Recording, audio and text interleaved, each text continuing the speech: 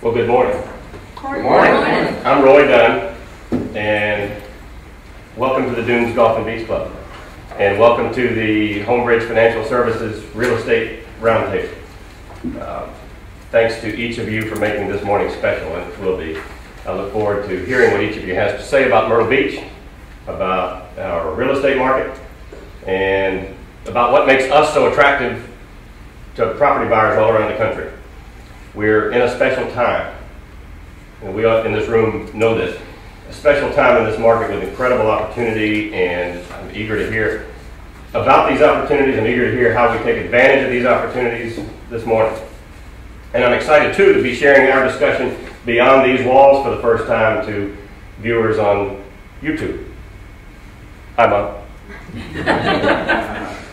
Get to go see my mom this week uh, for Mother's Day. This morning's roundtable is presented by Homebridge Financial Services. We're one of the largest privately owned mortgage lenders in the country. I have to tell you that. And it's also presented by the Optimal Service Group, which is my origination team and our largest origination team on the Grand Strand. Let me introduce clockwise around the room the participants so everybody knows who's here. Laura Crowther, the CEO of the Coastal Carolina Association of Realtors. Janice Cialiano with uh, Coldwell Banker Chicora. Greg Harrelson with Century 21 The Harrelson Group. Paige Bird, Remax Ocean Forest. Jamie Broadhurst, Century 21 Broadhurst. Nancy Skelly with Remax Southern Shores, and Anna Marie Brock with White Realtors Southern Coast, Martha Thill with Century 21 Boling, Michael King, King One Properties, Mandy Becker with Remax Southern Shores, Brendan Payne with Century 21 The Harrelson Group, Matt Harper with Beach Realty Group, and Scott Schultz with the Myrtle Beach Area Chamber of Commerce. It's a talented group a successful group, and a group that won't be shy with their opinions. At least that's what we're hoping for. Now, moderating the discussion with me this morning is Michael Maley, who is the main anchor with WMBF TV, our local NBC affiliate. Uh, Michael's duties at the station keep him on the job until the wee hours. So I'm particularly appreciative of you being here this early morning. As a journalist, Michael is required to be uh, both inquisitive and respectful of time constraints. So I thought it'd be good that Michael will guide us along if we start to get a little bit long-winded. There is no format for our discussion today. Don't worry about that. It's, it is simply a discussion. Chime in with your thoughts at any point, answering any question. Uh, in the past, these have taken a life of their own, these discussions, and we look forward to that. The, uh, the discussion will last approximately an hour and 15 minutes or so, and I promise we'll have you uh, out on time. Be concise with your with your answers and your discussion, and that will allow us to hear as much from as many as we possibly can in the time allowed. Michael. Rick, thank you very much. Speaking of brevity on WMBF News, if I talk too long in the interviews, I've got a producer screaming in my ear saying, wrap it up. Uh, I know you guys aren't shy, all of you, which is good, but uh, hopefully together we can kind of streamline and keep it moving it's, it's an honor to be here. It's intriguing to be here, really, because um, so many times the people who watch our station say, what can I do to sell my house? What does it really take to sell my house? And we hear those questions on Facebook, on email, everything. So we're hoping some of your insight here can help all of you, but also maybe some of the viewers too that we're going to hopefully broadcast this to further and beyond. Um, so with that in mind, let's start with what brings home buyers here to the Grand Strand. What do your out-of-state clients tell you initially lures that lures them here to the Grand Strand beyond other coastal communities. And then, I guess, furthermore, what do they specifically look for in a home? So, what's the draw really to get those out of towners, whether they're in Cincinnati, Ohio, or New York, or Miami, here? And then, what do they look for in the homes or the properties? And you want to start it? Whoever wants to jump in. Whoever wants to jump in. Weather the weather. it has to be weather. Somebody said, I had a client call me yesterday. He was in Pennsylvania and he had six feet of snow last winter. Wow. He goes, and I'm not doing this again. So I would say that's the number one. To me, that seems to be the number one. I have to say affordability. With um, our taxes being lower, the cost, you can get so much home here as compared to the Northeast and other areas. So I know um, I talk to people all the time and their taxes alone are 12 twelve, thirteen, fourteen thousand dollars a year. So, I mean, they can live here, you know, annually, utilities, taxes, insurance, you know, everything, and they can just enjoy their um, pension or um, retirement or live on a, you know, work and make a little bit less money, but it's just more affordable to live here. Michael, I think another key factor is our geographic location. Sixty percent of the population of the United States can get here within a day's drive. We still are the, the number one drive-through destination on the East Coast. Also, I'd say family. Once one member uh, moves here, the next thing you know, the father's moving here, the sister's moving here. And so you get to uh, move the whole family down. a positive experience on their vacation usually draws them back.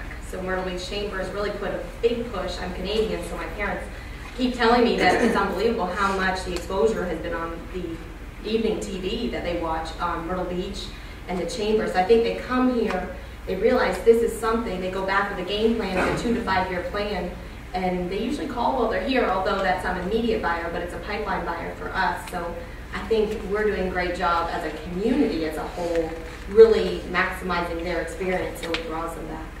Yeah, I'll echo that because our research uh, of late reinforces the fact that a previous visit uh, experience is what leads to a prospective buyer.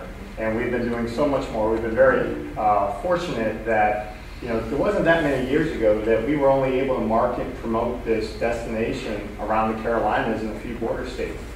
We're very lucky that we can have television advertising up in Toronto, uh, up in the Northeast, and continue to inspire people with new messages about all the different diverse experiences along our 60 miles of coastline. So all the factors that you guys mentioned all bundle up into it, but it's really that high lifestyle and affordability that really seems to package us well together. Let me add one more thing to piggyback off of Mike and, and uh, I think you said affordability, no, you said, somebody said affordability, but also the diversity of product that we have to offer. We've got golf, we've got ocean, we've got waterway, we've got first-time home buyer product that's that's very affordable. We've got the luxury market that to a lot of people in the Northeast, our luxury market is actually not that high priced, but it is a, luxury product. So there's a lot of diversity in the product that we have. So we can draw not just one specific segment of the real estate market. We cover pretty much every segment of the, the every, anything anyone would want. We pretty much have it to offer. Now, as a realtor, as an individual realtor, do, do any of you market specifically to an area, a specific market away from here? Mine, excuse me, mine needs to, not needs to be, but tends to be um, the Northeast because I moved here from New Jersey. So I have a, a database of 25 years in the title industry that brings a lot of the people, a lot of my clients to this area. And, uh, you know, it's just, as you say, it's a one day drive. If they're not that far, they can get back to their families with very ease and not have to get on an airplane, things like that. So it's just, it's probably just because of my background and the, the context that I have. Do any of the firms, any of your brokers, do you, do you advertise? Well, we indicate, we advertise, we advertise to a certain degree, but I indicate to a lot of our agents, we have our marketplace, we have so many realtor professionals that come here from other locations as well.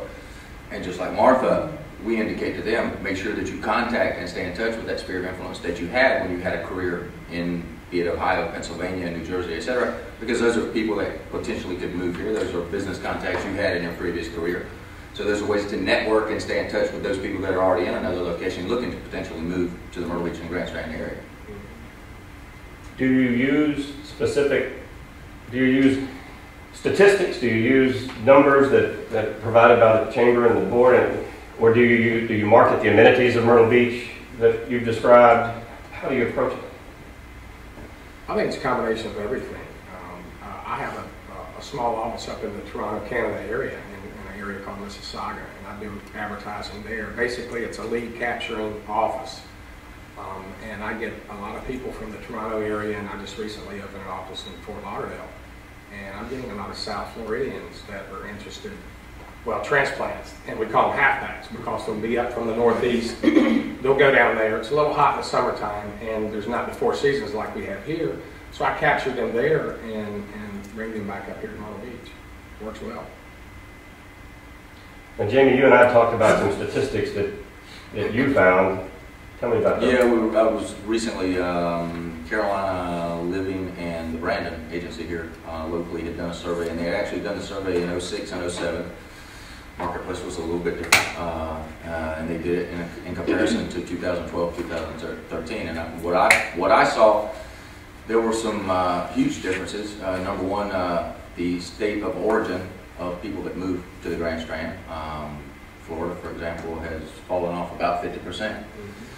Um, to tie into what Martha said, weather. Uh, it seems as if there's a huge increment in people from the Midwest, uh, Ohio, Pennsylvania, uh, Indiana, uh, moving here. They've been hit so hard in the past few years with the weather. Um, Myrtle Beach has wasn't this great this year, but it's been much better, and it's much better than most where most of them live. And one of the other interesting things I think we probably all concur with as far as uh, pricing is that their price point is probably off by about 14% in respect to what it was in 06 and 07. And I think so much as that is probably so much of that is probably due to the fact that their prices at home have also diminished and lost some value as well. So they're looking at a more economical, a more sustainable lifestyle uh, here in the Grand Strand area. As far as marketing goes, obviously, social media is huge. Websites, the now and has been. Are there some strategies that any of you seem to use to really get, you know, a good lead on the client? What seems to have been successful, whether it's a website or some kind of an electronic uh, push or pull, as it may be? I always think marketing the actual property will capture the most accurate buyer because that's truly what you're looking, they're looking for. So if you really push that out in the social media mediums, then um, I really think that's the best way to capture that. So was literally pushing The listing, product. yes, the actual product versus the beach versus the agent, you know. And that's interesting because the draw is the lifestyle, the beach, the affordability, but you feel like at the end of the day, it's, it's a house, it's a property that you're living in. Exactly, and the other features, you know, around, surrounded by that, just push them hopefully to move a little faster. Yeah. Do any of you get any feedback from the website per se, or as far as the clients that you do get? Do you keep track of how, how they came in? Was it, oh, I saw your website, or I, I, I referral through a friend, or do you monitor that?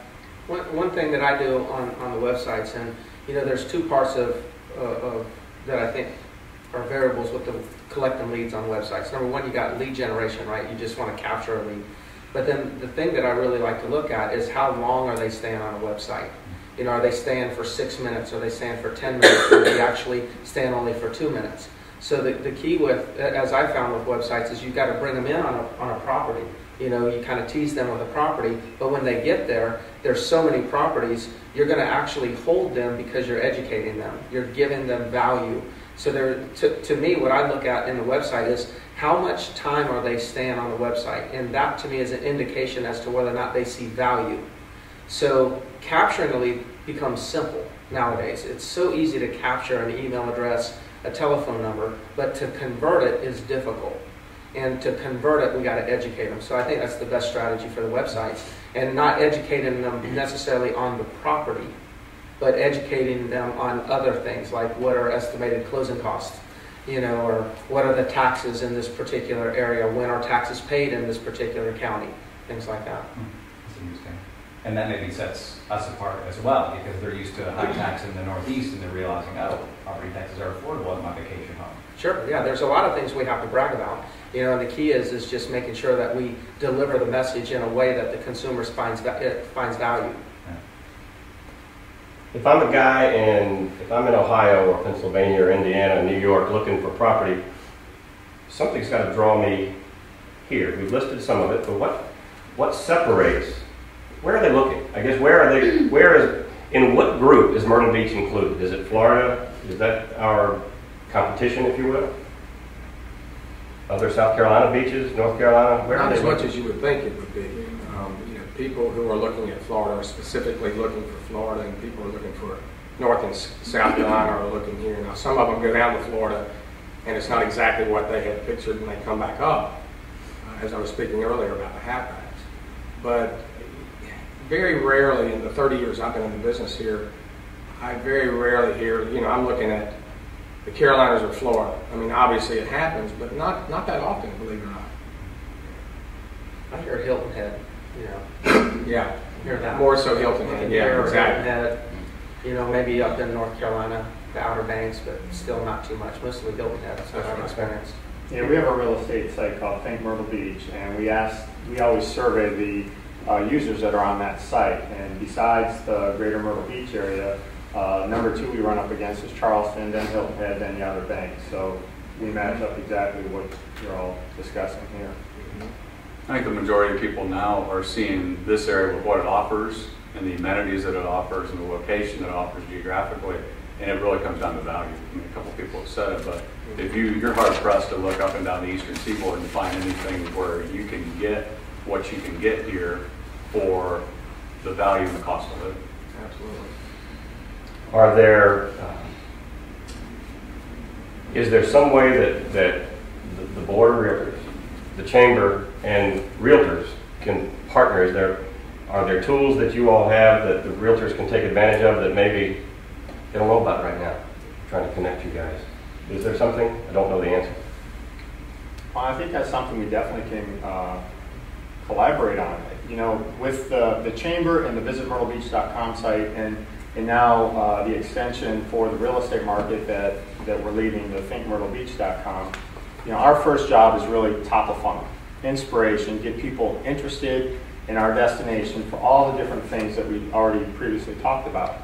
And then from that point, just like we do on the tourism side, our job is to get them interested, but then to get them out to the people in the community that can book that hotel room, service them with an attraction, um, you know, help plan where they're going to go to, um, you know, to, to, to dine each night. And so the same principle can apply is that we get them interested in all the right reasons to either retire, relocate, or invest here, and then get them out to this community uh, seamlessly and easily so that they can do the conversion and the selling. That's not what the chamber's in business for. We want to help convert sales, but we need to be at the top of the funnel and then pass them off to the people that do it well. And the, the Association of Realtors function is very much like the chamber. We are not to convert sales. Our, our main goal is to provide tools and resources for the realtors and be an information source for the, for the consumer. Um, we do provide several things that I think uh, are, are beneficial to the chamber as well as our realtor members, our market statistics that we provide um, on a monthly basis. We also make a, a uh, version of those statistics available to the consumer uh, that's on our website. And then one of the newest things that we're working on right now is an open house app that we're partnering with the local chambers to be able to to provide information to consumers when they come visit the area that they might they you know it's raining today or I've had enough sun or enough of the beach or enough golf. And this this app that I, I just learned about will be a good opportunity for me just to kind of ride around and learn more about the area. Because I, I believe the statistics that, that I've, I've seen are our visitors come three or four times and it takes a while to convert them. But the app will be something they can take home with them, continue to learn and, and research the community. And it's a driver, it's just another tool that our realtors can use to um, in, in their toolbox in, in helping people um, find out about the great quality of life that we here uh, have here on the Grand Strand. Sounds like a great app. Is that something that's uh, going to be big? Yeah, that's great. Well, you just gotta convince realtors then to do open houses. think about think about the flexibility that you have. Um, newspaper is a wonderful resource for you to advertise, but you, it's not a quick medium. And if you are, are planning an open house on Saturday, and Saturday is going to be beautiful, but you see that maybe Friday after, or, you know, Friday is going to be a rainy day. Wow, you can upload it to the app. It's real time, and you can capture those people. Um, if somebody's coming in on a Saturday for a week, and they type in what their parameters are, boom, they can they have that access immediately, and you don't have to worry about oh wow, this is my window of opportunity because the, the print deadline was this or that. So um, we just felt like it was another opportunity that, that we could provide the realtors um, at- for for free that, um, you know, you could use then at your disposal. And, and um, you know, we, we obviously know that there are going to be some challenges, but we also think that there are going to be some growth opportunities with it um, as, as we roll it out and as our members uh, learn about it. And the chambers have been very gracious since they are particularly a, a, a point of, of interest and, and, you know, on the front end of people coming in asking about the community that the chambers are, are going to be able to partner with us and, and help us roll it out and get that information in the consumer's hands. I think it's a fabulous tool. I mean, I really do. And I think if we are either one of the first or the first board to, to get this app, is that correct? Yeah, we're actually having it developed. We're working with um, Cowork MYR, a couple of folks through there, and they have been extremely helpful in, in just helping us realize from, from a development standpoint of what a consumer, because they're not in the real estate business, they don't look through the same lens that we do. They've kind of helped us from a consumer standpoint of what would be of interest and what things should you consider putting on there. So um, I, I think the I think the community is going to be pleased. It's just going to be a, a uh, a challenge for us to, to get it in everybody's hands and, and, and, and kind of figure out how it's being used and, and what the met, metrics are once it's being used and, and that we're going to have to rely on the realtor community to, to give us that feedback. And I guess a question I might have is how will a visitor know it exists? Well, the app itself. two, two, twofold. We, we're doing, we're going to have a, a rollout plan um, but first, first and foremost, we're working with the chambers um, all along the Grand Strand area in and Georgetown County, and uh, they're gonna they're gonna have it to to distribute the um, the app for people to download. Realtors are gonna have it uh, to provide their uh, clients when they're coming in, as well as we're gonna do some marketing. We're gonna do um, in area marketing, and we're also gonna try to do some out of area marketing. What's the timeline? You said what the timeline? We want to capture uh, the 100 days of summer, so we are in a big push to try to have it ready by the end of this month. Oh, wow. That's great. Since we're on the open house, maybe I'll just ask agent, agent professional here. How has your open house experiences been now that the market, you know, deals are a little more plentiful? Are you doing more? Can I open that up for feedback? As a proponent of open houses, uh, I certainly believe in them. I have more than one sale that I can directly attribute to the open house. And there's a lot of people out here that want to move here, they're visiting. And it is that thing, you're sitting around and going, well, you know what, I don't know what's out here, let me go drive around. All of a sudden they walk in a house and go, so how much is it? And you talk about the taxes, you talk about the other things we have, and they're like, wow, I guess I really can afford to live here. Maybe I don't want to keep renting that hotel, which is not maybe the best thing, but at the same time, they're coming down, they're going to buy, and they're going to bring the family because more family comes down, and it just sort of snowballs. So our experience has been experience positive. is positive, and sometimes they're slow, sometimes they're busy, uh, but all in all, generally, open houses still very much work for us. I agree hundred percent, because I, I I really attribute a lot of my business to meeting people at an open house, because you are face to face, you get to meet them, you shake their hand. All the websites in the world can give all kinds of information, but it's that face to face handshake that, you know, you meet somebody and you have a connection, and I have a lot of, a lot of my business is from open houses. Uh, Across the country, open houses is a trending, it's trending up. And, and the, um, the driver of that is the fact that the internet provides so much information to the consumer now. And so the open house just gives the consumer that one extra bit of power where they can actually do, make their own decisions. So they're looking at the house on the internet, they're reading about the house and all the, the amenities of the community, all the specifics of the HOA on the internet. So they've got all that information. They don't need to call the realtor because they've got all that information. And now that they see that they can actually now go on a tour of, of the homes that they choose without calling a realtor again. So now they can take from looking at a property to learning about a property to viewing a property, and in their mind, they've never had to reach out to a realtor. So it's just the extra step that, that the consumer starts to feel like we're in control. So what we're seeing in the real estate industry with realtors is the open houses be, are becoming another tool for lead capture. So it's a it's an upward trend right now. You're going to see more and more of it across the country. A lot of realtors are going to be thinking very positively about open houses as we go forward. I also don't mind that the neighbors all come in, you know, and they do. Uh, I just think it's great because the neighbors do have friends and family, and they do come in, and, and they will. Other people do move down, so I encourage that. I hold about two uh, open houses a month, sometimes three, um, if I can get somebody else to do one for me. But I think my sellers also appreciate the open house, and then I capture, you know, possible buyers or neighbors who have friends who are looking, and it just, it puts the house out there for people to feel more comfortable just to walk in without having to to um, hook up with a real estate agent, you know, or make a commitment to someone because they're just trying to gather information.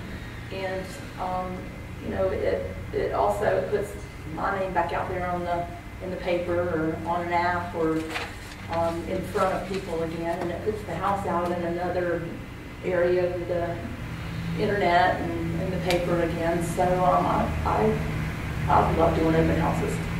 Well, if this app, when the app is started and takes off, I could see people doing more open houses to get on that good tool. And Might I've work actually, back. I've actually had a couple sales just as, just these past three months, and I had one client follow me into the open house houses, I'm setting it up. Two days later, I was writing the offer, listed their property, got more listings from that. And just the other day, I wrote an offer up last night on the property I held up open Sunday that people walked in. We connected up. So real estate is very much a people business.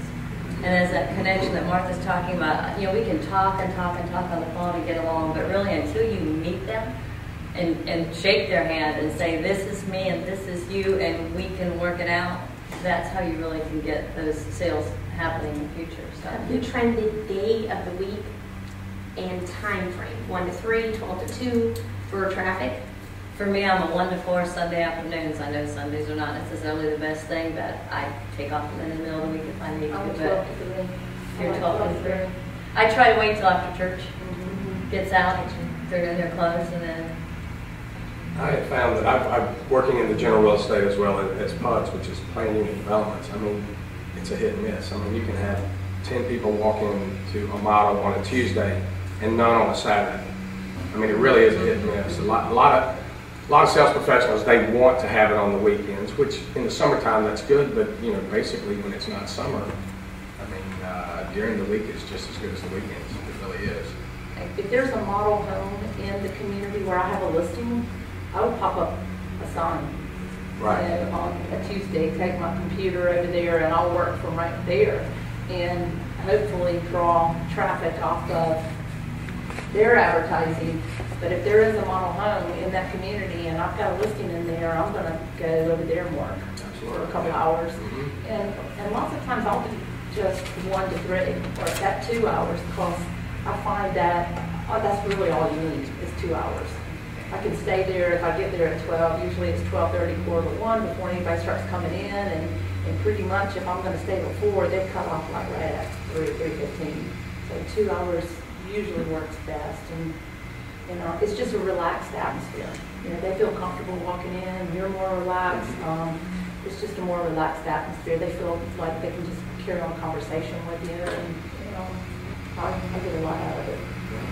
One thing that's difficult during the week has really to do with the municipalities and the inability to place signs. So that's really what hinders my ability to hold an open house Monday through Friday. Yeah, don't take no signs.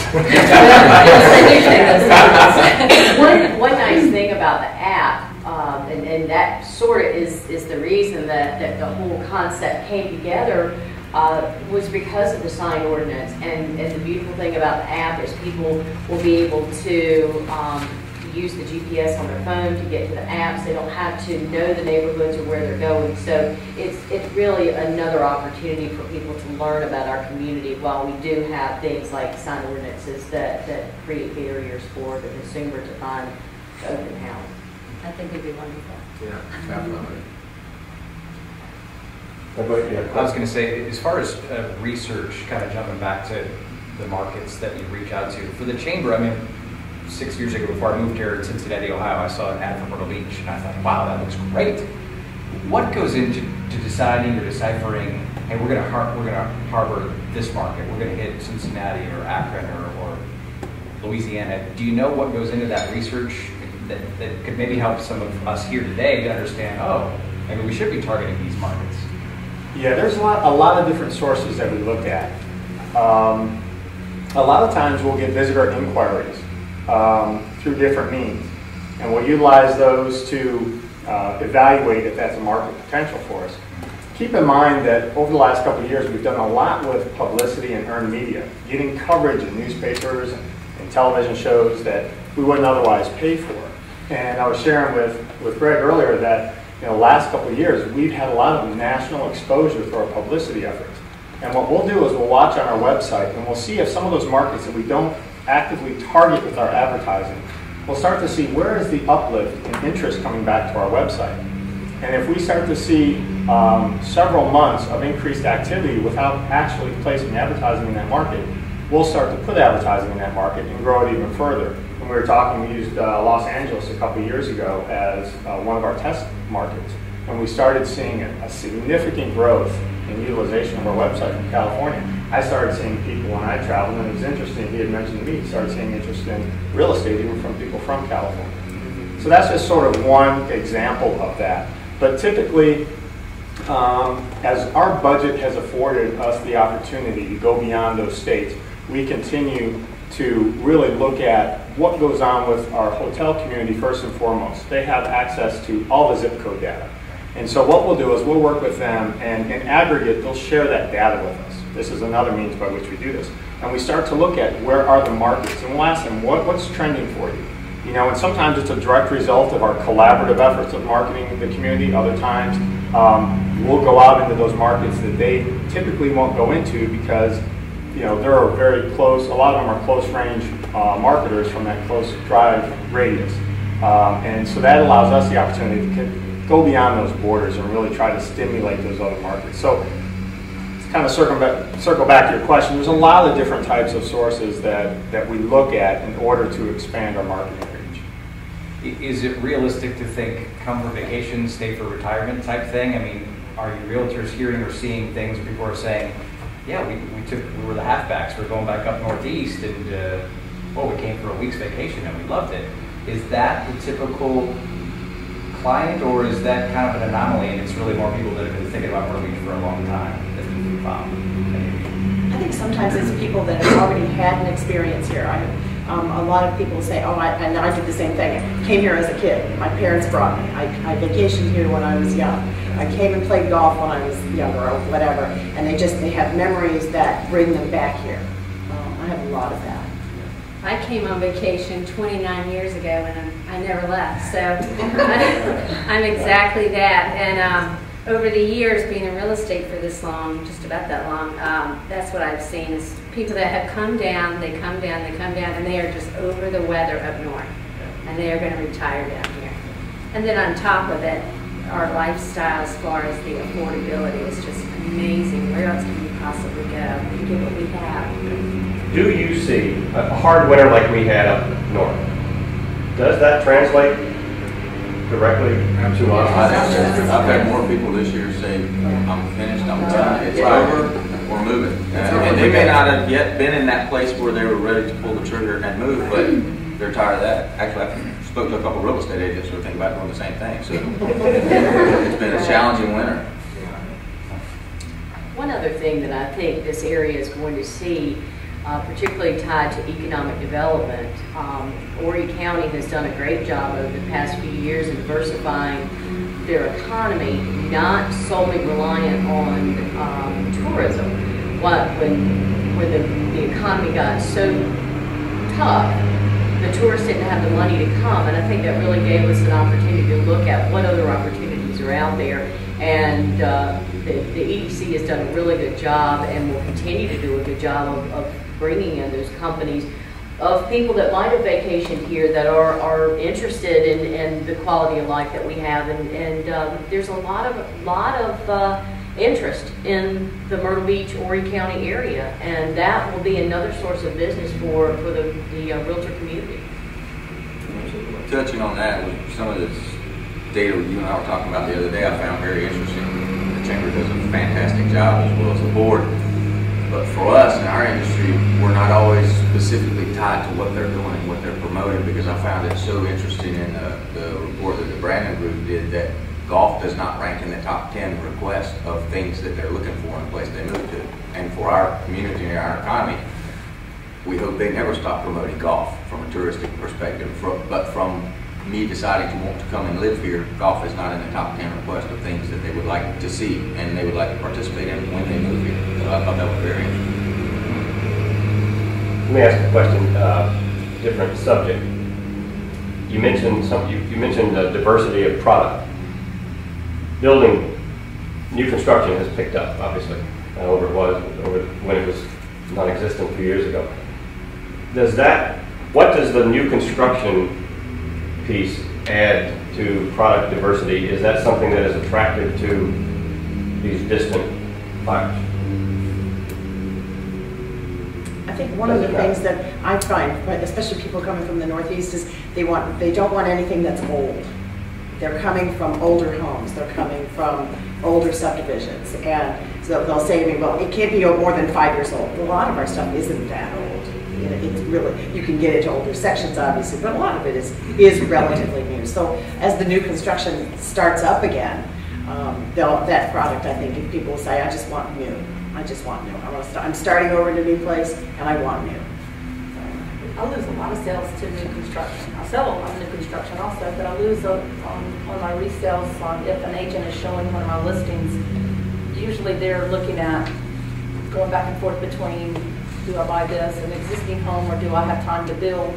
You know, do I want to build? Um, and they've made it so easy because a lot of these national builders are coming in and putting up 14, 15, 16, 17 homes at a time and just running through these communities really quick. So the availability of an existing home or a spec home, as they call it, is, is, you know, easy. They can walk in and see it. And, and um, I think people, the models are just blown out and they're beautiful and they can touch it and feel it and go, ooh, I want to live like this. And, and then if you have a resale, um, they don't want to do any updating. They don't want to have to take down wallpaper. They don't want to have to update the bathrooms and they just don't want to do that. So if you put a home on the market that's a resale, it better come right on the market, you know, looking pretty good or because your direct competition is going to be that new construction.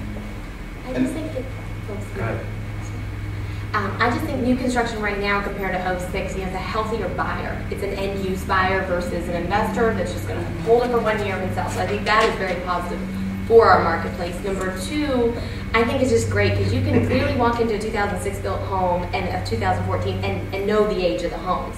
So how the needs have changed of what people are looking for, you know, um, a level island, you know, just little traits that you didn't see in 06. So it is healthy for our marketplace to bring in that fresh product of what the trend is today. And it, it will draw more people to maybe move quicker in their, you know, dream location. You mentioned resellers and not wanting to fix things up and, and do that, but for people in our community who are saying, I'm having trouble selling my house, I'm putting floors in, I'm doing countertops, is that significantly much more important than getting it listed right away? I mean, it's almost better to not have it on listed so long and do those things if you can afford to live there while you're doing them. So I guess, would you put an exclamation mark, all of you, on people that are looking to sell their home out there to some of these out-of-towners of, you gotta get it modernized, you gotta make it stand apart or at least blend in with contemporary market, right? I, I do. I mean, when I go in, the first thing I do is I walk around as if I'm a buyer and I look at, is there a lot of clutter? You know, you're packing up anyway, so pack it up and get it out and clean up and clean it. Um, you want them to come in, you want a fresh look, um, a clean look. You don't want them to be distracted by all the stuff that some people have in their homes. Uh, wallpaper, I mean, if, if that, if it's affordable to that seller to do it, then I'm gonna suggest that they do it before it goes on the market. And, and I typically like to give them a timeline to do the, you know, how soon can you get this done? You know, let's get it done, we'll fill out the paperwork for the listing, here's your timeline, we'll put it on the market when this is complete. When this is complete, I'll come and take the, the photos, and it, it typically makes a huge difference. I feel this year more than any, when I go into a listing appointment, I usually 80% of the time would sign up that day. But I'm probably down to 50% where there's a list of things to do, and I usually have to revisit them in two to three weeks. So my lag time of getting homes on the market has been delayed. With the late spring market, it's actually worked to our favor, but it's easier for me to get them to do those things because the price point has increased based on the, the market being healthier. And then we compete a little more head on, and so far it's worked. And I think um, waiting to put it on MLS is really important till they're ready because when we first list, it goes out to so many people that we have automatic notifications set up. So you want those pictures to hit really nicely. And uh, I, I just listed a house this past week, but I went in exactly like what you're talking about, gave a lot of suggestions. They had, they've had it listed before. I asked, you know, what is your feedback? Well, it's dark. That's what, that's what they kept hearing. I said, your house really is not dark, but you need a glass front door in front of your door. So I sent them to Lowe's yesterday. They're sending me all these pictures on my phone. Sent them to, um, and they have a lot of print. I said, you need to roll this rug up. We need to neutralize so that so that this can be, be appealing to everyone. And so, anyways, they were working yesterday, sending me all these pictures. And I'm like, that looks fresh. That looks great. And uh, so I'm excited about going back in, helping them rearrange, and getting those pictures fresh and back in MLS with a new listing. And I believe that we're going to sell that house even at a higher dollar value than where they were listed before because mainly because it's going to be bright and light in there. Fresh feel. I think a lot of um, sellers too, I hear this all the time. Do you watch Property Brothers? Do you watch HGTV? They say that same thing all the time. So they're more in tune to what we're talking about and what's ne- what needs to be done to get their home um, merchandise or staged correctly and and come out, um, you know, ready for that buyer to walk into the door and not walk in the door and go, oh my gosh, this house just needs too much stuff done to it, you know. And uh, but I, I really think you know they are, they do they watch these TV shows and so it's it's um, made them you know more aware of what needs to be done and more open to making those changes that that you're asking for. They understand. To Janice's point too, right now, I think the buyers are, there's an opportunity now that over the last few years, everything's been so price driven that now if you've got a home that, that offers everything that they're looking for and is the HGTV, the model home feel when they walk in there, buyers are willing to pay a fair price for it. And so sellers have got an opportunity to actually, if they want to maximize what they're going to get out of that, then that's the way to do it versus, you know, just, um, just being so, so price driven, so. Also to Janice's point, um, seeing those types of shows certainly prepares them to hear that criticism, but I think that a lot of them forget um, that all real estate is local. So they really, before they're ready to actually list and sell the home, they need to start consulting with a professional, a real estate professional, months in advance, rather than trying to do the work themselves or watch the TV show and then mimic exactly what they saw.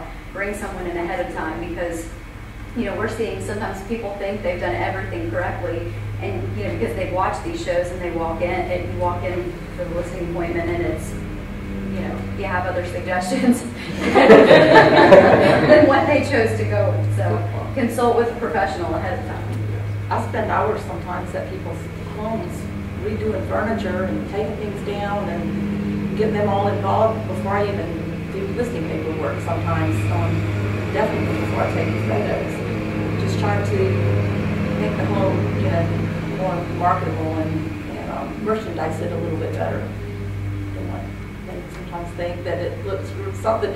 Sometimes things look really good to to them, but it's just um, you know the patterns and it's just too much, or you know, flower couches and, and plaid rugs. You know, some, you just have to roll them up and put them in a closet. Let me write that down. Flower couches. They're definitely gone. And when they tell you they watch the show, you have to remind them that it doesn't happen, the renovation overnight. It takes a little longer, a little more investment But in they time. they get excited, you know, because they feel like they're being a part of it, and, and they really they have to be. You're once they sign that paper, they're a team, and, and um, I'm not working against them. I'm working with them, and I need them to be on the same page. So. Um, as far as the deals out there, people come here for value, obviously.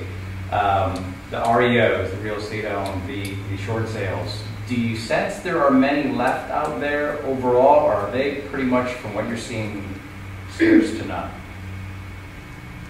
Scarce to none, is- scarce to none is a big word, uh, Yeah. a big couple words. Uh, Diminished significantly in our marketplace, yeah. It's surely not on the top of our minds, I don't think, or at least No, no, myself. they I don't, not. I just, I hadn't heard that word in a little while. And do you feel then overall, that's one of the reasons that you all could be losing sales, is because people are coming here with that mindset of, oh wait, where are the REOs and the short sales that we think we can bargain from? Does that impact your bottom line, the lack of those? I don't know that it's the lack of them. I think people, there are people that uh, will call and they'll say, well, I'm, I'm here to steal something. Really? Still, they're still doing it. Really? Oh, Every once in a while, yeah, you'll get that. uh, I'm here to steal something, and my thought is, well, where were you in 2009 and 10? Because that's when you could have stolen something, so to speak, but you're probably not doing that anymore. I think So- it's really press driven. You know, the press is not pressing, you know, and announcing, you know, foreclosure short sale is such a front of mind issue in today's marketplace. So we're now talking about price appreciation, you know, new construction, there's other focus. So where their minds are, where they're presented is where their minds will go. So I actually rarely get calls, you know, for that type of buyer today. And what role do you hope the media can play besides saying, go to all of your firms and buy a house? Uh, Do you feel like the media in general, whether it's local or national, misses the boat a little bit by honing in on the deals, which, sure, they were kind of there in 09 or 10. Is there any kind of a general consensus you might have on what role the media can play that could give people an accurate assessment of property along the Grand Strand? The media could give people an accurate assessment. Uh, that's, that's a lot. Um, I've never been a big believer in the fact that, uh, good news sells newspapers, usually it's the contrary, bad news sells newspapers. They usually tend to hone in on things that aren't so optimistic and positive. Uh, just the fact that today, I think the, uh, with the way the economy is looking, uh, with the way our marketplace is looking, uh, they, the, the media today seems to be fairly neutral and semi-positive in regards to all activity. I think that's a good thing because I think the people that we're, we're dealing with, people we see in the marketplace today, seem to be comfortable uh, and they seem to feel optimistic about investing uh, their pensions and coming to live in this area or somewhere else. They don't, they're not bombarded by this negativity on a day-to-day basis like we had in the past past years. So, uh, and that's already a great thing.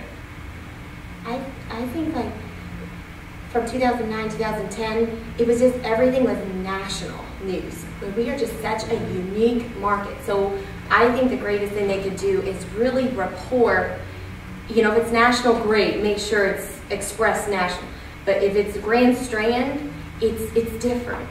And it's because we are a niche, we have a different buyer profile. We have so many, you know, less industry, if you will. So there's so many different variables. And I just felt like we were getting caught up in the national when we were very different. So I would just say, you know, in reporting that, I would express how local, The local whatever you're numbers. reporting, exactly, exactly, and really focus on that. People want to And, and Laura's good when you come in and we talk about kind of some of the trends in sales, but me being isolated from what you all do, I'm always curious, does it help the home buyers when we say, hey, sales were down 8% last February?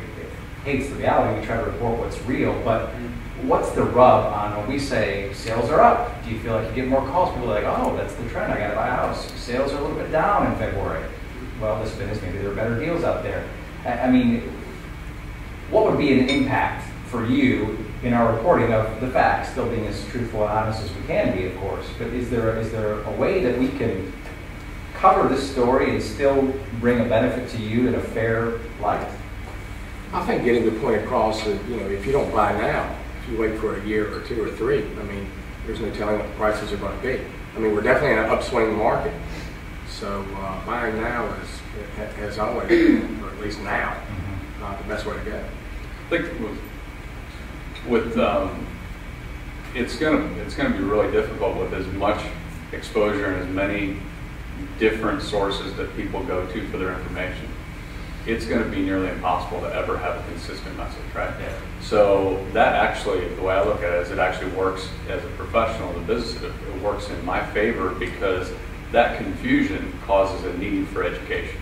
And it causes a need for somebody to reach out and say, help me interpret what all of this stuff means. And, you know, if everybody had a, a hundred percent clear picture from what they were getting online in different places, then, you know, a lot of my value is probably going to be diminished because that's, that's what I see my job as. Well, I kind of, I kind of look at it as the media uh, are, are partners with, with us.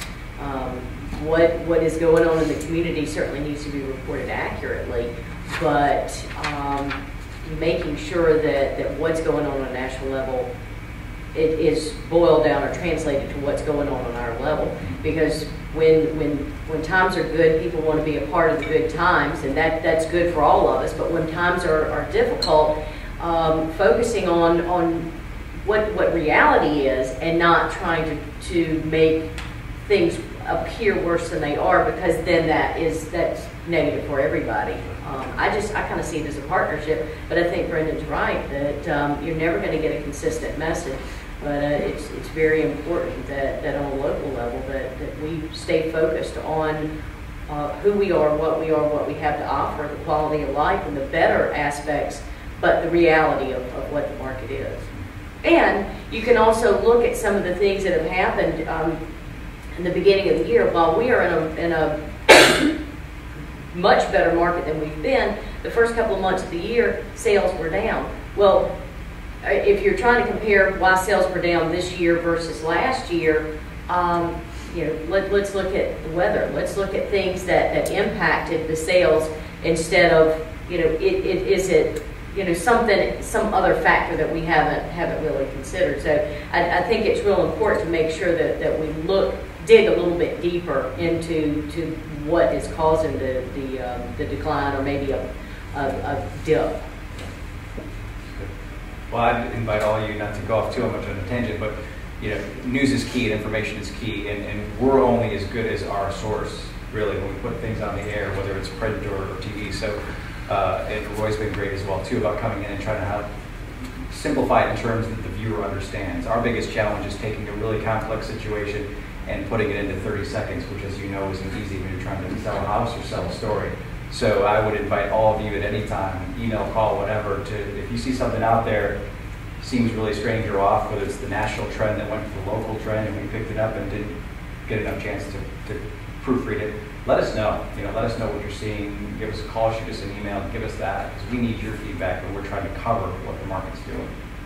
And what I'll do to that point is to make sure you have, after today, uh, Michael's email address, so you can send ideas. Is that appropriate? Absolutely, I love it. Yeah, Should have asked that first before, you've seen it anyway. yeah, so that's great. Um, what do you feel like? Um, what's the common denominator that you feel all of you could benefit from here today? And, and is there a topic that we need to kind of delve into that would help everyone? The, the Chamber of Research is interesting to me, but also interesting that uh, golf wasn't in the top 10. Is that what we heard for, for people that are buying homes? So is there information that you can share here that we haven't even kind of tapped into yet? The app is great.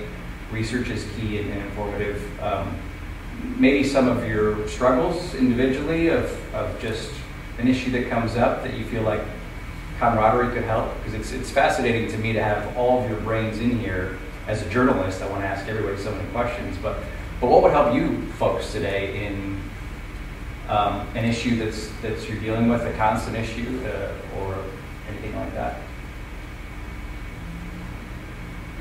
Or we something- could go around the table and, and, and say, what's your biggest lead generator? I mean, That's interesting, yeah. What, what's, yeah, it wouldn't have to necessarily be negative. What's, what's the, the positive? What, what works well? I thought it was interesting that you said how long people are on the website. And I was going to ask, does that correlate then maybe to a sale or a lead if they're on for 10 minutes?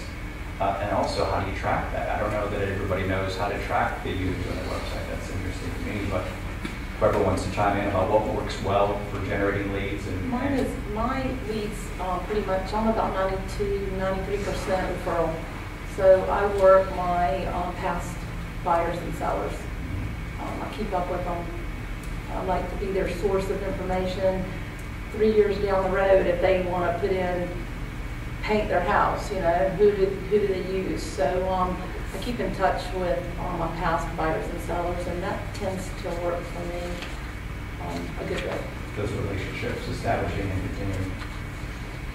I agree, it's the same, it's the same in my, in my business. It's, it's friends of friends that then refer other people and, and keeping in touch with them is, is key. Because I think that, I remember years ago when we were in New Jersey and we had bought a house from a certain realtor and we were getting ready to sell it, I never heard from her again.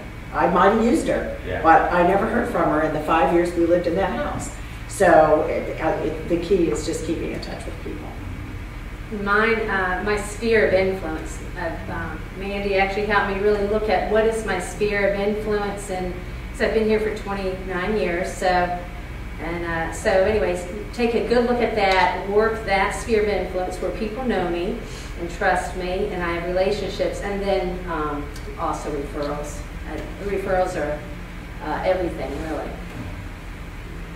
The, the company owners here, what is, what is your biggest draw? Mine, mine's signs, calls off the signs. I mean, that, that's where I get, as a company, that's where I get most of, most of my leads from is, is, is calls from the sign. Greg, I know you're Yeah. really heavy on the internet and you do a lot of stuff and SEOs and stuff. So for, for, for buyers, there's no question, we, we, we were early adopters of search op, you know, engine optimization. Right. We jumped on that quick instead of getting involved with the Zillows and the Trulias and, and buying the leads. We, we decided to invest heavily on the front end. And, you know, so we are generating hundreds of, of buyer leads on a weekly basis. So that's, on the buying side, that's definitely the biggest generator. And then on the, the selling listing side, it's prospecting. And, um, but with prospecting, it's then, you know, building databases and then nurturing them over time, educating and trying to empower the consumer, you know, with information so they can make, you know, sound business decisions when it comes to selling the property. So we get a tremendous amount of uh, return off of that. We- We'll, we'll nurture, we'll nurture a, a potential seller for five or six years. Right. You know, we'll nurture them and educate them for years until they convert. That's interesting. Yeah. So is that a typical return on investment is, not typical, but is that a common situation that you might invest three to five years on prospective seller, buyers and Buyers and sellers. And sellers? Wow. That's amazing.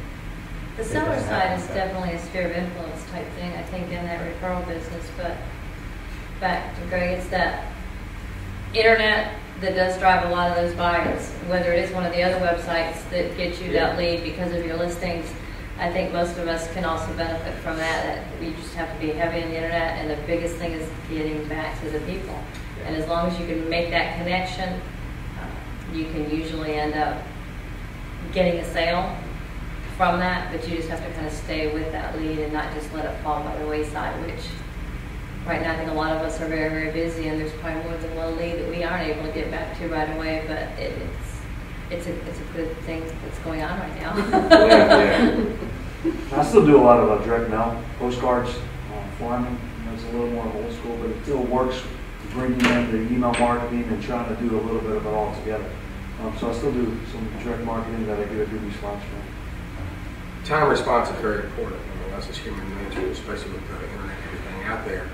I mean, quick response is very, very important. Us as humans, we want instant gratification. And if we don't get it there, we're going to go here.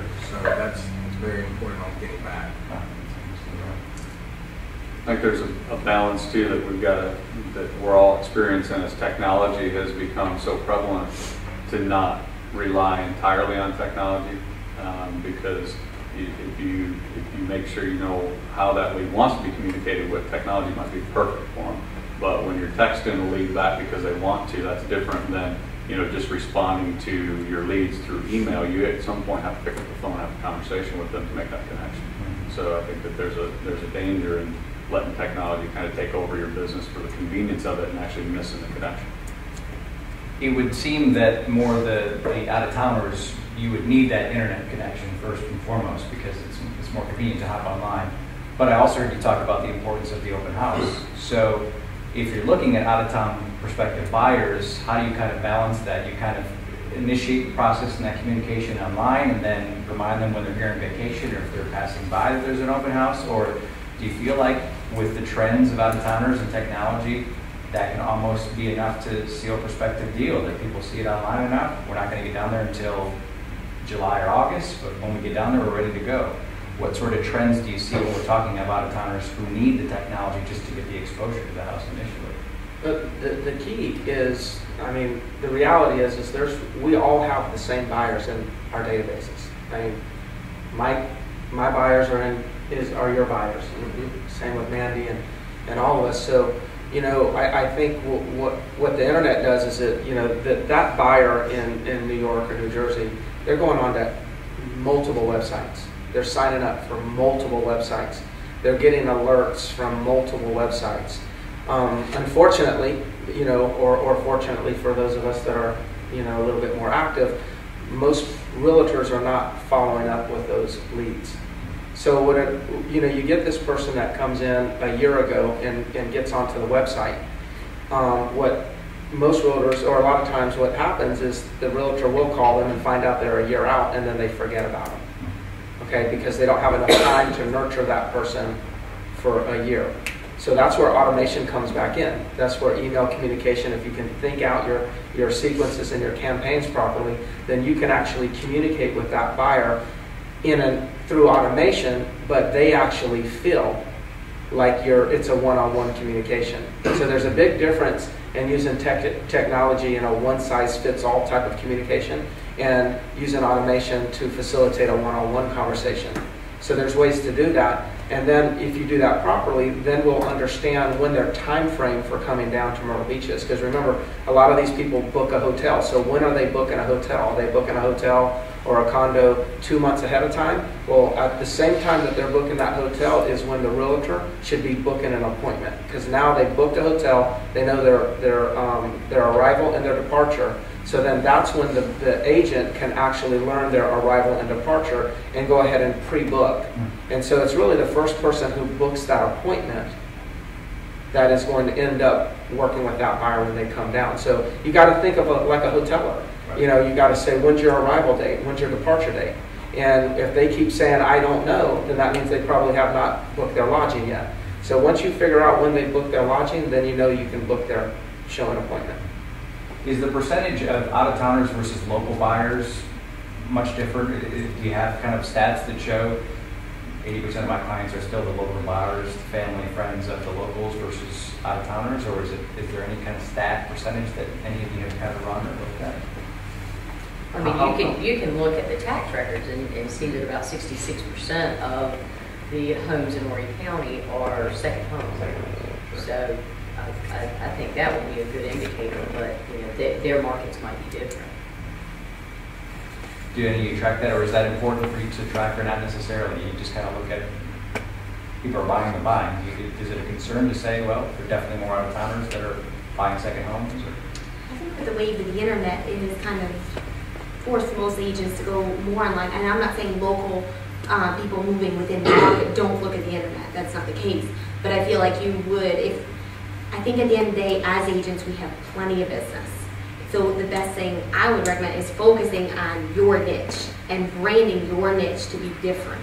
And then once you capture them at that point, um, you know, the education, the adding value to keep them is so critical throughout this process. But um, I, I will market differently to an in-town buyer than I will a northeast or west coast buyer. So there's a different action plan depending on the conversation I have with them to distinguish time frame and their goals. And I used to hear the, the phrase, there's two, Myrtle Beach has two markets, the ocean front and everything across the street. Is that, is that still the case, and do, and do distant buyers come in with one or the other in mind, and does that get garbled once they get here? Do they change their mind? I think there's a few more markets than just those two. And um, because we are such a broad county and with the EDC really bringing in a tremendous amount of folks. Um, you know, the rural Horry County is a very untapped marketplace in my opinion. And um, it's an area of growth going into the next, I would say, one to four years because of the EDC's success of drawing those businesses. And I think it's interesting too, because people may initially come here, or they'll say, I want to, I want an ocean, I want to be on the ocean front. I'm, want to retire on the ocean front. Okay, that's fine, but your neighbors change every week. It, there are very few people that live on the oceanfront in a condo. Homes, yes, obviously, and that's, that's another market. That's an entirely different market. But I think once they get here and they realize that living on the oceanfront is different than what their perspective was, because they don't understand that it's really a hotel atmosphere. Um, people change every week. The they just don't know that until they get here, and, they, and then they, they realize what that is, and maybe that then changes their perspective as to where they want to go now. They go, oh, okay, now I get it. So it just depends. It just depends. Yeah, I think that another way to look at it, I mean, we are segmented, you know, um, but I don't, I think we're segmented into primary, secondary, and investor. So if somebody is coming down here to move into a primary home, then they're not the ones that go to the oceanfront condos and then, or, or go to, say, Carolina Forest and then get, say, well, let me check on oceanfront condos. So they don't get jumbled up in that because it's primary, and, and, and they know that primary is not typically an oceanfront condo. Then you got second homes. So second homes, you know, they're, they're very clear on, on what their intention is, and then you got the investor. So I think that, that you, instead of it's oceanfront and then everything across the street, I think it's primary, secondary, and investor. And Greg, I think to add to that, you almost have subcategories too. Mm-hmm. You've got, um, you know, we were talking about the distressed property market, and it, yes, it's substantially smaller than it was in past years, but you still have that, and that market has set a lot of people's expectations for today. And the fact is, those expectations are just not correct anymore. Um, we're, we're doing a lot of work with our agents to try on that initial conversation to educate them about the market, to have them educate their client about the market. Um, so that that client understands where we are in situations where we're seeing multiple offers on some properties, where we're seeing properties sell in a day or a week. And they're just not coming into this market expecting that. So um, there's those three, but then there's this dynamic as well. And it's really confusing if the expectations aren't set up front.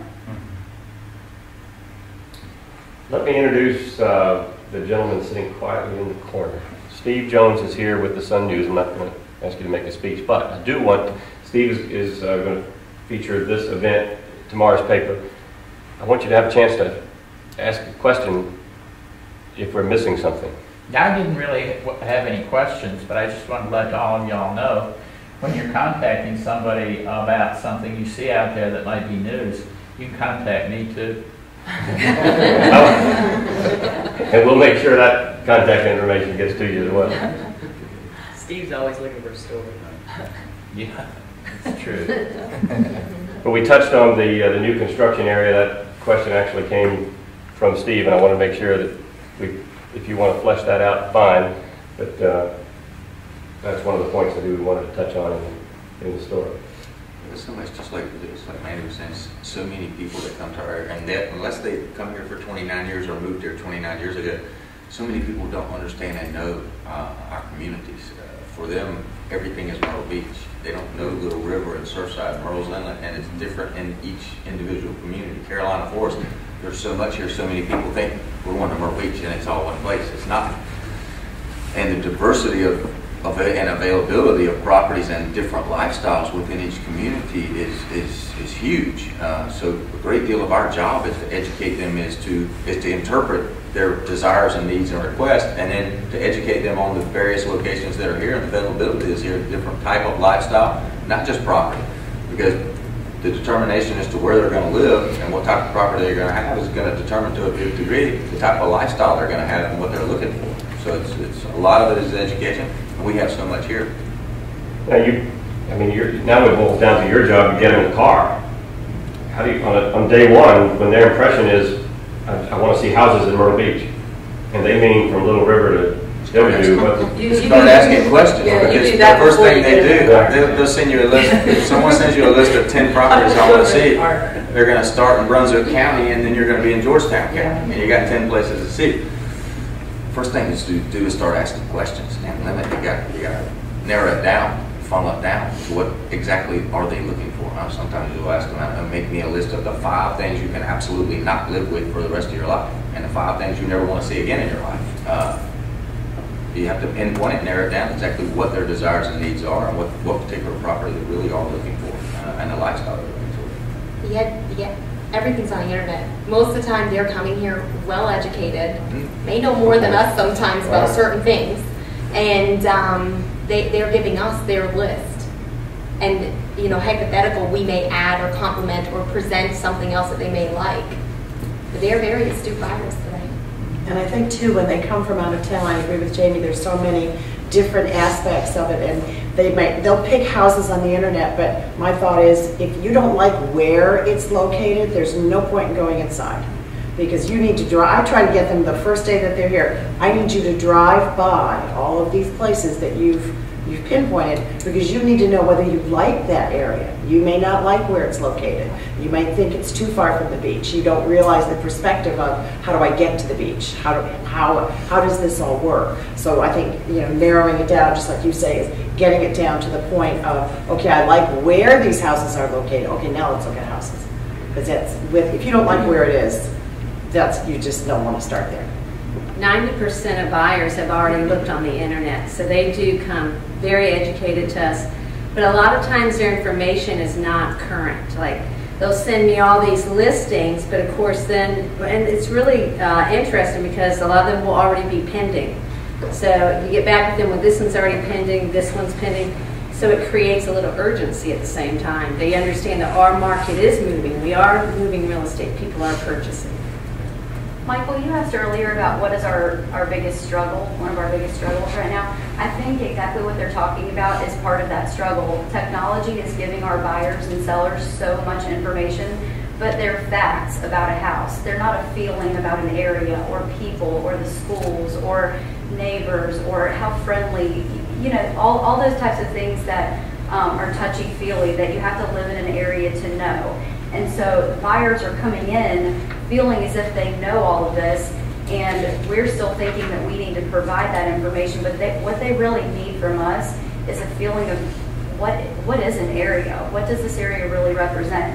And we're learning how to provide that value at the same time that they're kind of thinking that they already know. Hmm. It's interesting. So technology kind of desensitizes them to the warm feeling they need to get For if they're going sure. to buy this house. Yeah. And so it's your challenge to say, okay, hold on. Do you understand this? Do you know what it's like to drive by and live near these neighbors who you may not like after three weeks of living here?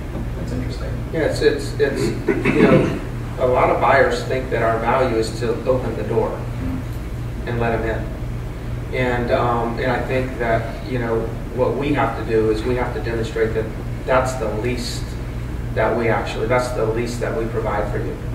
You know, it's the, you know, understanding, like you're saying, schools and the areas and whatnot. And, uh, and I think that's, that's becoming the job. You know, the job is to, you know, how do we add value to this consumer beyond opening a door? Because, you know, the, the key is, is we're all in the business of open houses. I mean, as soon as you list the property and put it on the internet, that's what, that's a virtual open house. So, you know, all of our properties are being held open every single day for everyone in the world to, to see the properties. So, you know, maybe they can't feel it, you know, at that point. They can't see the whole neighborhood at that moment. But they believe that they have just, just about done everything that the realtor can do. So the, the, the key is, is to connect. Um, to connect our value with what they do not actually know is our value at this point. And how do you market that, I guess, in so many terms? Because it is the intangible. You can't say, we're going to give you that better feeling. Oh, really? You are? Well, Yeah. yeah, we are, because we're going to show you what you can't get online. You've got to come and, and the handshake goes a long way. Sure it does. And so you you think about Google, okay, if you were to research Google and, and, and search engine optimization, what Google is now doing is, is Google is awarding those who they believe are authority sites. Okay? So now we got to identify well, what is authority? You know, and we probably don't know exactly what that means. We can all make our own, you know, assumptions. But I believe that an authority site is a site that offers depth. It's not just a listing on a website. It's depth. It's additional information. So we've got to be very content heavy You got to have valuable content, and you got to have a lot of content. You know, still I see people putting up these websites, and they're one or two pages websites, and they're featuring properties and features themselves. Listen, you're not gonna you're not gonna be found because the Google knows what you're doing. They know that you're just trying to get a quick website up there. They know that you're probably putting it on a business card and you want to be seen as being able to say, I have a website, but they don't see that you're actually adding value to the reader. And so when coming back to the time that some, when I'm monitoring how much time are they on my site, then that tells me whether or not there was enough information on that site for they for them to feel like it was invest it was worth their investment of time. Because you know, I'm asking them to spend 10 minutes. I want them to spend 10 minutes on my website. Well, we're all busy. We don't spend 10 minutes on many websites. So the only reason they're going to invest 10 minutes in that website is if they're getting value out of it. And the value is education or it's interpretation of information. You know what strikes me is, wouldn't, wouldn't it be great if behind me were uh, stands filled with rookie realtors and would-be realtors to hear all of this? That'd be pretty cool.